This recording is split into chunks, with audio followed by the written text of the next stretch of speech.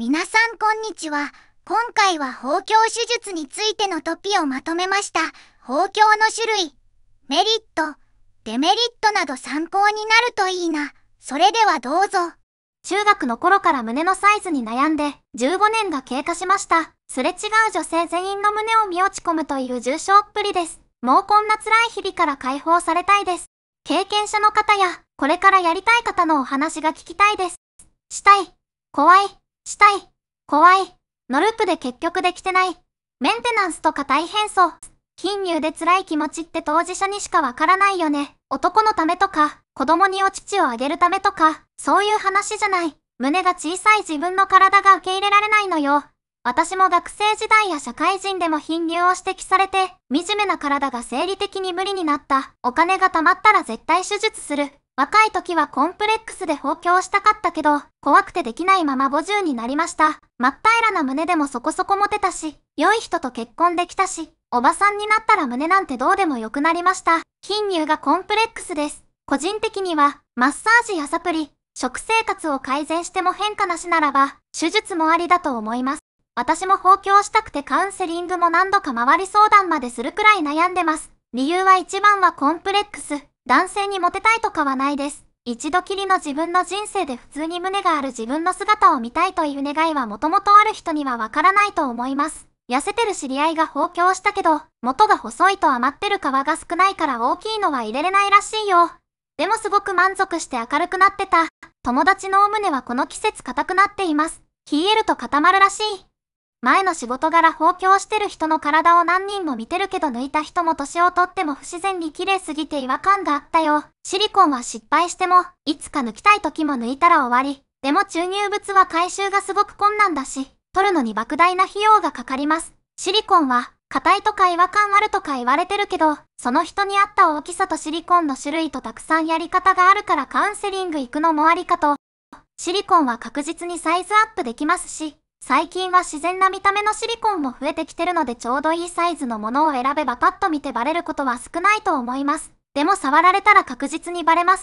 脂肪だと定着率が悪いって言われてシリコンにしたよ。くっそ痛かった。もともと真っ平らな人は筋肉の下に入れないといけなくて、術後皮膚もパツパツになってる状態から伸ばしていかないといけないからめっちゃ痛いらしいよ。100万円かけて 150cc、小さめのシリコンバッグ入れました。胸筋下です。今、手術後に10年経ちます。手術後は本当に痛くて痛くて、二度と経験したくない、と思いました。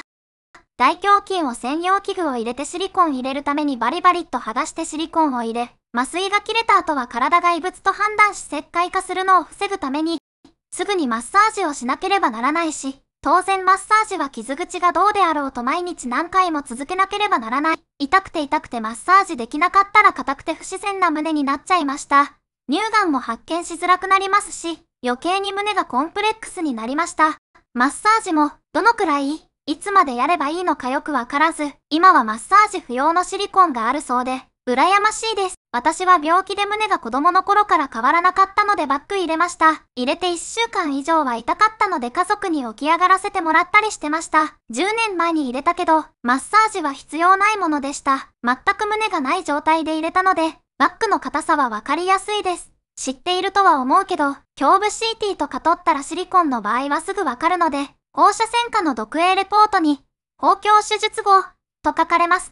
クーパー人体は戻せません。筋トレに補正下着を駆使して、少しでも下垂を防ぐのが今の私の課題です。身内が美容外科で働いてたけど、包協手術はすごい痛そうだって、脇かにメス入れてそこからアイスホッケーみたいな刀入れてパック入れるために筋肉とか骨にくっついてるのを削いでパックの隙間作るって、麻酔効いてるから起きたら日帰りはできるけど、意識が戻ったら帰れるのであって、麻酔が完全に抜けたらあれは地獄の痛みだと思うって、中に入れるパックはめちゃくちゃ柔らかいのに、胸に入れたら手触りはやっぱり硬くてすぐわかるって、シリコン入れたけど100万はしたから高かったけど上手で自然だし10年経っても歪みや崩れもない。でも確かに40過ぎてこの形は綺麗すぎなのでもう少しだけ入れておくつもりです。死ぬほど悩んでたからに10年で100万と思えばそんなに高くないかな。脂肪がないからシリコン入れたけど、すごく違和感のあるポコッとしたコブみたいな胸になってる。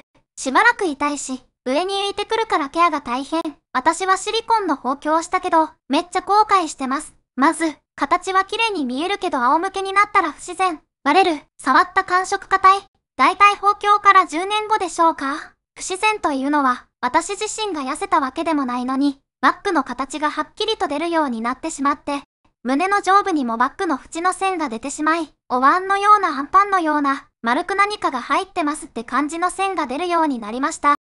ヒアルロン酸も脂肪もしこりになるリスクがある。バッグだと取り出せるからその点は安心。絶対秘密にしたい人は脂肪包協がいいと思います。脂肪包協した人に触らせていただきましたが、言われないとわからないレベルで柔らかいです。脂肪包協のデメリットは、値段が高い割に1カップ程度しか変わらない。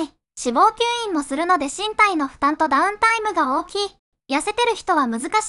脂肪によるしこりが乳がん検査で間違えられる。です。脂肪注入は触られてもバレないし自然です。ただ入れた脂肪がどれくらい残るかはその人次第です。喫煙者はほぼ残らないですね。確実にサイズアップするならに、3回オペが必要なこともあります。脂肪包協だと触り心地は完全におっぱい、寝ると流れるし、デコルテに入れられすぎるとマッチョみたいな胸になるからデザインは気をつけて。やろうと思ってお金貯めてたんだけど、流れる分見越してかなり脂肪がいるらしく、脂肪が足りないからまず太ってって言われた。お腹とか追加するとまたお金かかるし、自分の脂肪を移植して放棄しました。自分の脂肪なので拒否反応もないし、定着すれば永久的に維持できます。自分の太ももとお腹脂肪を胸に移植して、AE カップから C カップになりました。自分の脂肪なので副反応もないし定着すれば半永久的に維持できる。手術してから5年経つけど C カップ維持できてる。お腹も太ももも細くなったし胸も大きくなったしやってよかった。ただ、手術後は激痛だった。脂肪は定着しにくそう。調べたらダウンタイム長いみたいだし、痩せ型の人には無理だね。脂肪包協は胸は全然痛くないです。脂肪吸引したところは濃めの筋肉痛があって痛いけど、後圧迫してないとダメだからそれが地味に辛い。夏はやらない方がいい。近々太ももからの脂肪注入する予定です。太もものダウンタイム辛いらしいから怖いけど、長年のコンプレックスから解放されたい。B カップから E カップになりました。包協してから6年ですが、形も大きさも維持できています。私の友達も自分の脂肪を注入して1カップだけあげたけど、拒絶反応出てゲロゲロ吐いてた。そして数年で元に戻った。2カップくらい左右差があってブラもカパカパでコンプレックスで片方だけ包協しました。太ももの脂肪吸引してそれを胸に入れる包協手術したんだけど違和感なくてやってよかったと思ってます。腹部と太ももの脂肪を胸に移植して包協したから、見た目は超自然。B から E カップにしたけど、違和感もない。母親と妹とか親友にも見てもらったけど、全然包協ってわからないと言われた3年ほど前に手術をして、その時は60万円でお釣りが来るくらいでした。値段も様々なので、もっと安いところもありましたが、私の場合は何箇所かカウンセリングに行って雰囲気や症例写真の感じで決めました。脂肪を入れた予報編胸 400cc。下半身クソデブだから太ももから2000くらい吸引して、アキーセルにかけて注入してもらった。最初は爆乳だった。私は脂肪注入ですが戻ってませんよ。A から F です。ちょっと太ったのもありますが手術から9年。レントゲン、マンモも受けてトラブルもなしです。先生の腕が良かったのかな ?74 万でした。羨ましい。医者の腕によるのかな私は95万したけど最悪だわ。脂肪吸引は術後に圧迫したり内出血が引くまで数ヶ月かかることもあるので大変です。知り合いで自分の脂肪を抜いて胸に入れた人いるけど、脂肪を抜いたとこはボコボコ、胸の脂肪は背中に流れてる感じ。自分の脂肪を入れるってパターンのはあんまり大きくならないけど自然。でもすぐに元の場所に脂肪が移動してしまうみたい。胸の脂肪って他の部位の脂肪と種類が別物だからね。自分の脂肪を使うならある程度他の部分に脂肪がないとダメだよね。遅い人がやろうとしても無理なんだろうな。シリコンは考えてなくて足から脂肪を取って胸。と調べていましたが割と元の胸に戻ってしまうみたいなので高いお金の割には良くないのかなと動けないままです。友達、脂肪入れたけどかなり自然に大きくなってるよ。もう何年も経ってるからそのまま定着してるっぽい。もともと D くらいあったから定着が良かったのかも。太ももとお尻の脂肪吸引してその脂肪を胸に入れました。200万円ちょっとしましたが、満足しています。病院によりますが、マンも検査も問題なくできますよ。私、自分の脂肪を入れる放棄をしたけど8年後に乳腺炎になって後悔した。その脂肪は数年で体内かなくなるって話だったけど、私はずっと残り続けたみたいで、仕事が忙しくて疲弊してた時に炎症を起こして高熱が出た。ヒアルロン酸注入を2回やりました。ドクターの腕が良かったのか、形も触り心地もとっても自然で大満足でしたが、1ヶ月くらいで吸収しちゃいました。約2年前にヒアルロン酸を入れました。A から D くらいになりました。その時は、半年くらいで半分に、今ではすっかり元通り、費用は120万くらい。ヒアルロン酸も持ちのいい少しお高めのやつでしたが、結局こんなもんです。触り心地も、最初は硬い。例えるなら授乳中だとガチガチに張る、あの感じです。でも柔らかくなるほどしぼんでいきます。ヒアルロン酸で放狂した人知ってるけど、頻繁に胸がなくなる夢見て朝まず確認してホッとする。って言ってた。身体的だけじゃなく精神面でも大変なんだなって感じた。友達が貧乳気にしてヒアルロン酸入れてたけどしこりみたいになって病んでた。後乳がん検査で何年も前のたった一度のヒアルロン酸注入を毎回書かなきゃいけないってのも面倒って言ってたな。ヒアルロン酸はダウンタイムがないからお休みが取れない人とかいきなり包協バッグ入れるのが怖い人がするイメージ。ヒアルロン酸は圧倒的にオペ後が楽です。でも1.2年くらいでなくなりコスパが悪いので選ばない方がいいかなと思います。ヒアルはマンモも受けられるよ。私普通に受けた。映るから自己申告する。私は愛もない小学生の膨らみ程度でしたので散々悩んで脂肪注入でやりました。下着選びも温泉も楽しくなりました。見た目は綺麗なままですが石灰化したところがレントゲンに映るので技師が男性だと説明が恥ずかしい思いもしています。マンモグラフィをやってる放射線技師です。シリコンはバッグが割れちゃうのでマンもできないですが、脂肪注入はできます。ただ、脂肪注入もやはり異物なので石灰化になってマンモの写真上では水玉みたいなのが何十個も写って結構衝撃的です。その分、病気も発見しづらくなります。リスクを一応覚えておいてください。